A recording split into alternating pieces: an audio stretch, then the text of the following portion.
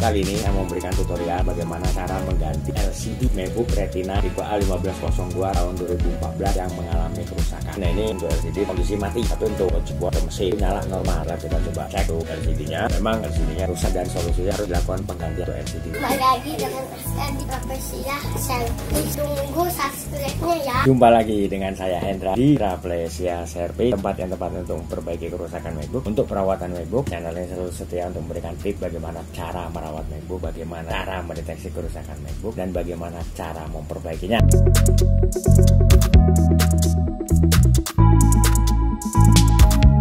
Untuk kali ini saya mau memberikan tutorial bagaimana cara mengganti LCD MacBook Retina tipe A1502 tahun 2014 yang mengalami kerusakan. Nah ini untuk LCD kondisi mati, tapi untuk keyboard atau mesin nyala normal. Nah, kita lakukan pengetesan, kita coba cek tuh IC backlightnya, tuh LCD-nya. Memang LCD-nya rusak dan solusinya harus dilakukan penggantian untuk LCD. Untuk lebih lengkapnya kita langsung saksikan video tutorial bagaimana cara mengganti LCD MacBook Retina tipe A1502 tahun 2014.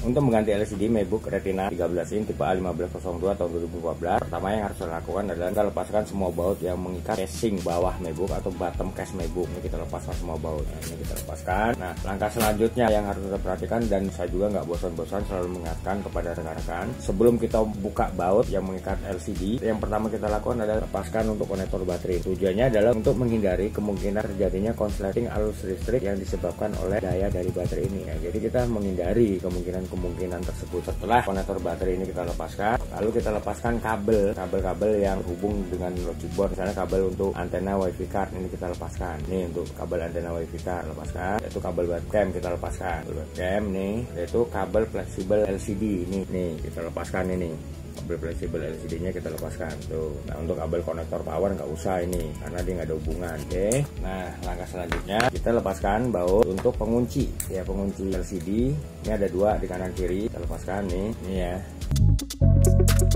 Nih langkah selanjutnya kita buka baut pengunci LCD ini ada 6 ini untuk baut semua udah kebuka. Ya sekarang kita lepaskan LCD dari unit MacBook. Nah ini ini untuk LCD udah terlepas dari unit MacBook. Ini LCD yang akan kita ganti. Taruh di tempat yang aman. Nah ini LCD baru akan kita gunakan untuk mengganti LCD yang rusak. Ya ini LCD nya nih kita cek dulu nih sebelum kita pasang nih untuk kabel konektor webcamnya. Nah ini kondisi masih bagus. Itu nih untuk kabel antena wifi juga masih bagus komplit. Ada tiga. Nah ini untuk kabel fleksibel LCD nya masih bagus. Nah ini LCD yang lama. Nah ini LCD yang lama nih. Nah, ini baru. Oke. Okay.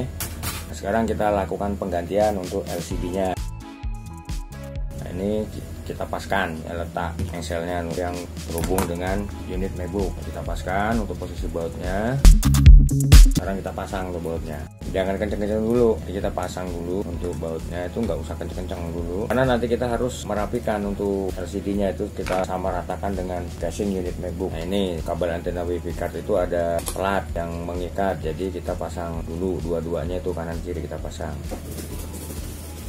Jadi nggak usah kenceng-kenceng dulu untuk bautnya. Biar nanti pasca menyamakan untuk posisi LCD nya itu nggak repot Oke setelah baut pasang sekarang kita samakan dulu nih posisinya.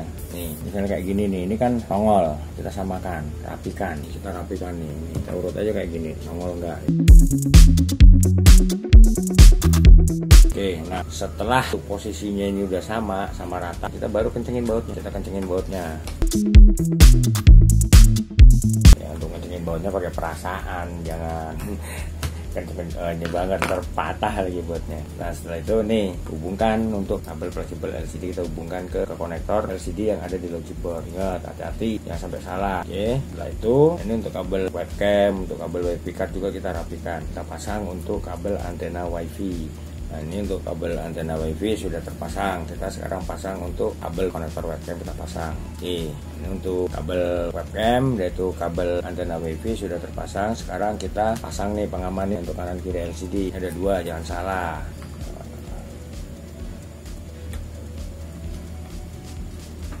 Nah, untuk proses penggantian LCD MacBook Retina 13 in tipe A1502 tahun 2014 sudah selesai. Sekarang kita tinggal lakukan pengetesan untuk LCD-nya.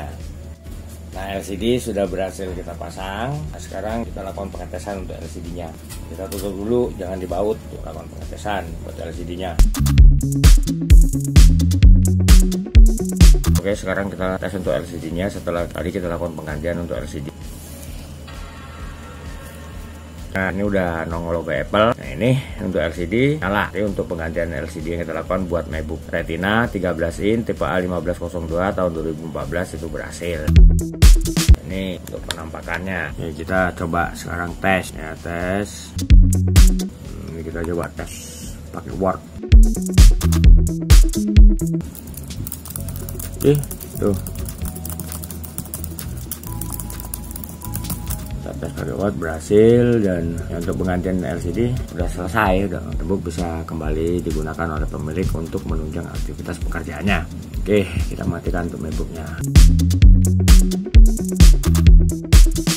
jadi sudah berhasil kita ganti sekarang kita pasang kembali bautnya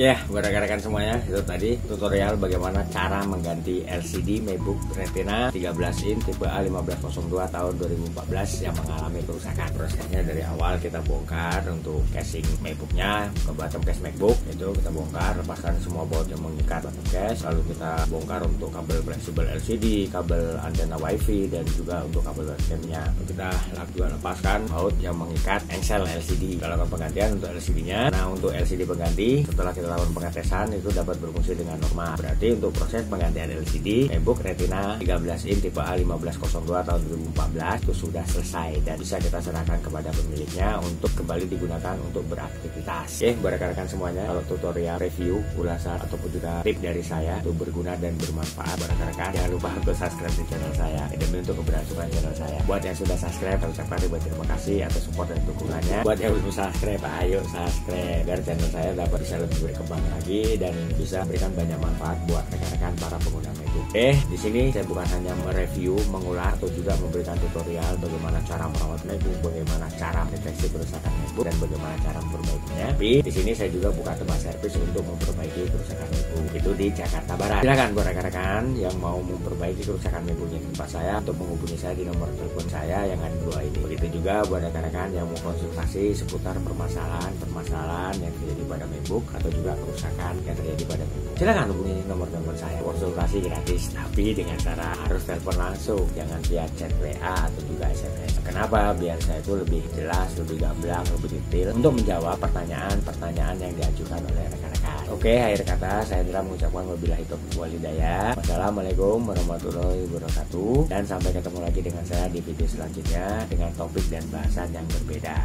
Pastinya bisa bermanfaat buat rekan-rekan semuanya. Oke, wassalam.